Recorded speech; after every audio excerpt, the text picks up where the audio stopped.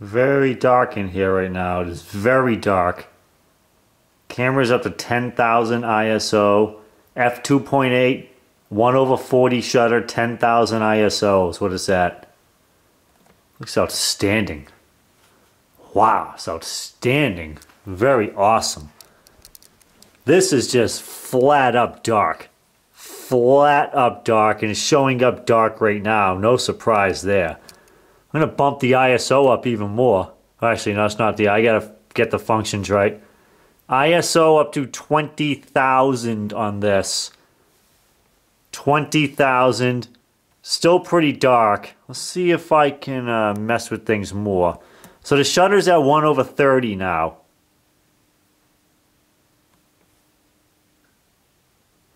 So 1 over 30 shutter. And I'm going to bump the ISO up even more. ISO is at uh, 32,000. I mean, it's got to start looking grainy by now. It, this is just exceedingly dark space that I'm filming. You know, matter of fact, I can barely even see what I'm filming right now with my own eyes. When I look at this with my own eyes, what I see in the viewfinder is brighter than what I see in my own eyes. That's pretty freaking impressive right there. I'm just testing out my new Sony a7S camera. This is a Canon f2.8L macro lens that I'm using right now. So this camera is proving to excel in the low light, just like it was promised it would. It's proving just like it, it was promised.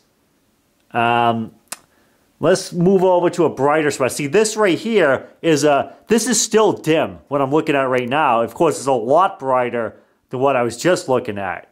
So I'm going to lower the ISO quite a bit. Now the ISO is at 800 right now. See what that looks like. Windows pretty bright, camera's dark, but this whole room is dark. This is a dark room. And the ISO is, it's f2.8 ISO 800 right now. I can stand to bump it up a bit. The shutter speed is at 40 is what I have it at now. I'm going to bump the ISO up. Nope, uh, yeah, I got to learn the settings. I'm bumping the... No, I'm going to put the camera at f3.2. f3.2, I'm bumping the ISO up. This is at 2000. 2500 is what it's at now. So 2500 in a dim room looks pretty good. The camera's at f3.2. I mean, it's pretty bright. This is a sick camera. This thing is fucking sick. I love this. I'm loving this so far. It's got the zebra striping. I can see that this is way blown out because I got the zebra striping. So that's an exquisite camera. This is a, a picture I took with my old camera that I replaced with this. My old camera was very old. It was a Canon T1i. I just finally upgraded to the Sony a7S. I want something that can do video and photography, and this is the one. And this thing is just kicking ass in low light. My God, this thing is kicking ass in low light. And you know, the shutter, the uh, ISO can go way up from here. I'm only at 2500. I keep messing the, the wrong setting. And I'm at, at 3.2. ISO is up to 6400 right now. 6400, very dimly lit room. It looks exquisite. Oh, this is bright, as you can see. So I'll bring it down. Now it's at 1000. At 1000 is still a little bit bright. The one thing I do not like about this camera, something that everybody has said so far, the battery sucks. The battery life, I mean, I am watching the battery just get drained. And I know that part of the reason is because I'm using the Metabones adapter for the Canon lenses. But the battery is just draining right now. And there goes my phone. Get that later. That's my father calling. I'll get that later. Right here. This goes to my attic. There is no light in there at all. It's going to be completely black in the attic. Let's see what it looks like. See what I can do with this. It's completely black in here, just as expected. Okay, so let's see. Keep the shutter at 1 over 40. I'm going to go right to f2.8. Uh, ISO, I'm to bump that the hell up. Now, I just brought the ISO up to 4,000. And I can't, I can't even see inside here. It's so friggin' dim. But the camera, you know, I know the ISO is 4000. The image is going to be kind of grainy. The fact that it can see it all in here is friggin' impressive. Because I cannot see any of this with my own eyes. I can't. This thing can see something that I can't see with my own freaking eyes. Just show you how bright it is and how dark it is in here. I'm going to leave the settings the same and point it towards the window. Look at that. That's just so washed out because it's so dark in here.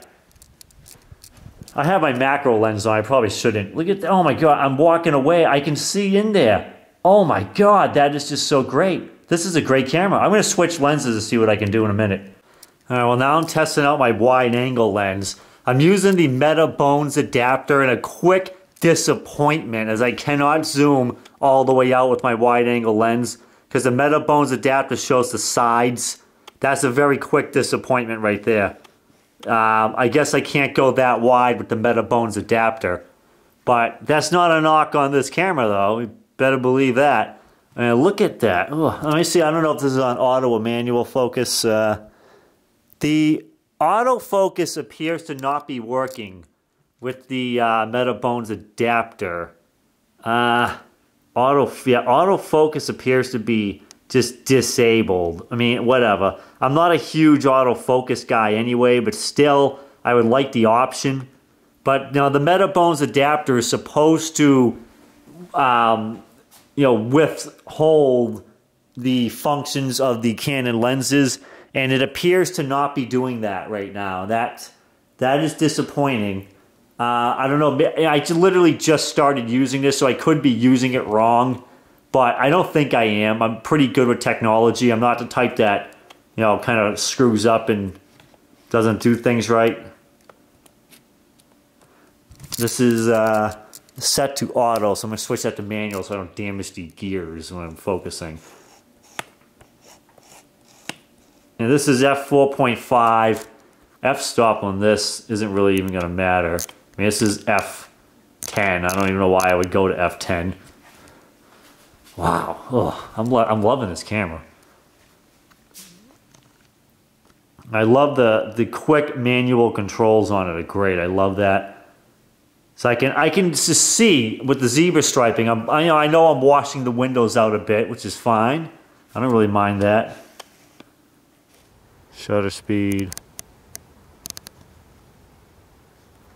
Think I just uh, looks like I just lost the ability to uh, to control the uh, f-stop on the lens.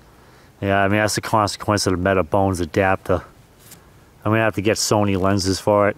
The Metabones adapter really, I don't know, it's kind of finicky. The autofocus was working on this lens, but it was slow as shit. I just shut it off. The vibration control was causing issues. I just put it all on manual. And I appeared, I just lost the f-stop on it. So I'm going to try to hit, I don't know, reset it. Okay, I just shut it off and turned it back on. I got the f-stop back. But that was kind of a nuisance losing it like that. I have the f-stop up at 45 right now. It's pretty high.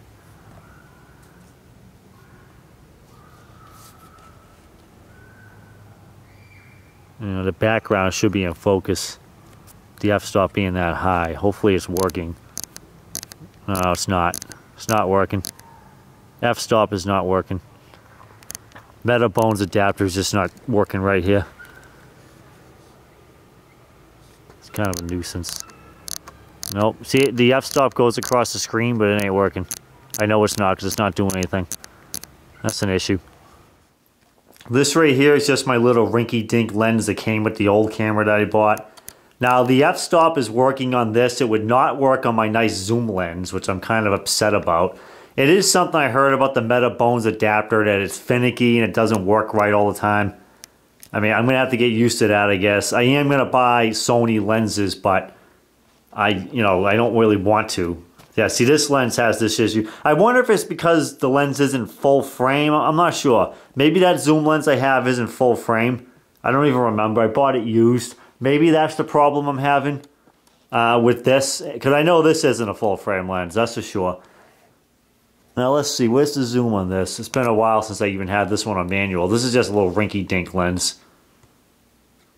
You know, honky-tonk, rinky-dink.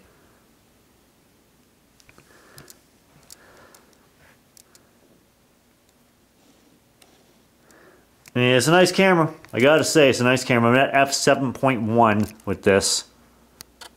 So I, am bringing it down. F4 is about as low as it'll go. Yeah, it's. I'm definitely gonna have to get Sony lenses with it because I don't like the the way the Metabones adapter, um, you know, changes the lens. And, and of course, it just decided not to work with one of them, which I don't like at all. Which I heard that can be an issue. Now, so far, all of my issues with this camera with the Metabones adapter. Um, so, in other words, there's really no issues with the camera itself. I mean, I think the camera's performing exquisitely. This is at 64,000 ISO. Holy hell, that's a high ISO right there. I mean, this is gonna, this has to be grainy as shit. It has to be. This is at 51,200. I mean, if this ain't grainy, then, I mean, this is, this is like three times no, this is like five times brighter than what I can see with my own eyes.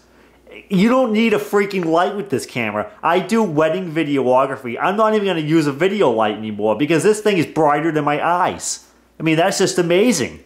If you saw how dark this room is, let me let's see if I can show you. Let's see. Yeah, ah, a little more. You know, that's about how dark this room is right now. As for me looking at it with my own eyes, this is what it looks like. Maybe a little, little darker. Maybe even like that. Yeah, matter of fact, that's even closer. This is at F uh, ISO 5000. This is what the room looks like with my eyes. And I can make it look like this or even brighter. I mean, this is at uh, two, 204,000. Right, that's going to be grainy. 64,000. I don't know. Is that going to be grainy? But I mean, it looks friggin' nice as shit. And look at this. I mean, this is just practically black. Um, the way I'm looking at it. When I look at it, my eyes is it's just black. I can bear, I can't see any details with my eyes. With the camera, I mean, this is this is exquisite.